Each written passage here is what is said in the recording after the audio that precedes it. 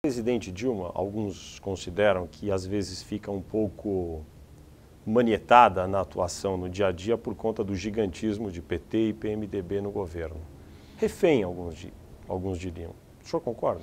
Concordo, concordo e, e se eu estivesse no lugar dela, né, analisando as dificuldades e naturalmente as oportunidades, eu fortaleceria um terceiro polo, né, uma terceira força. E essa terceira força, para mim, é muito clara, é, que seria PDT, PCdoB e PSB. Esses três partidos já têm aí uma tradição de, de, de atuação muito próxima, já compuseram um bloco na Câmara, né?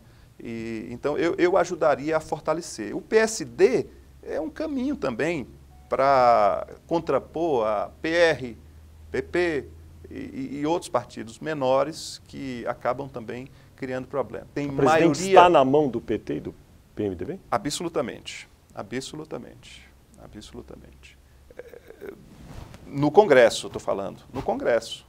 É, isso não quer dizer que, que ela esteja como um todo. No Congresso, ela está é, absolutamente condicionada a decisões que PT e PMDB tomem.